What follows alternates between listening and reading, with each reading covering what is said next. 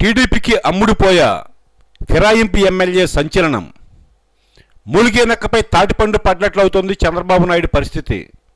అసలే బడ్జెట్ కష్టాలు ప్రత్యేక హోదా వేడి మిత్రపక్షం బీజేపీ నేతల మాటల దాడులు జనాల్లో పెరిగిపోతున్న ఆగ్రహం చంద్రబాబును ఉక్కిరిబిక్కిరి చేస్తున్నాయి. ఇలాంటి నేపథ్యంలో హఠాత్తుగా ఓ ఫిరాయింపు ఎమ్మెల్యే మీడియాతో మాట్లాడుతూ తాను అమ్ముడుపోయినట్లు పెద్ద బాంబు పేల్చారు. వైసీపీలో గెలిచి టీడీపీలోకి ఫిరాయించిన ఈ ఎమ్మెల్యే సంచలన ప్రకటన చేశారు. కర్నూలు జిల్లా కోడుమూరు ఫిరాయింపు ఎమ్మెల్యే మణిగాంధీ ఏమని చెప్పారంటే చంద్రబాబు నాయుడు చేస్తున్న అభివృద్ధిని చూసి టీడీపీలో చేరుతున్నామన్నదే అన్ని అబద్ధాలే అంటూ కుండబద్దలు కొట్టినట్టు చెప్పారు.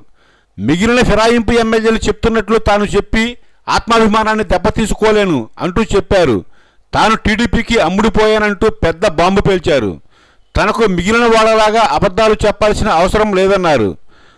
గత ఎన్నికల్లో తనకు యాభై మూడు వేల ఓట్ల మెజారిటీ వచ్చిందని చంద్రబాబు కన్నా తనకే ఎక్కువ మెజారిటీ వచ్చినట్లు తెలిపారు. ప్రలోభాలకు లొంగిపోయి వైసీపీలో గెలిచిన తాను టీడీపీలోకి ఫిరాయించి రాజకీయ జీవితాన్ని నాశనం చేసుకున్నట్లు ఆవేదన వ్యక్తం చేశారు. కోడుమూరు నియోజకవర్గ ఇన్ఛార్జ్ విష్ణువర్ధన్ రెడ్డితో తనకు ఏమాత్రం పొసగడం లేదన్నారు.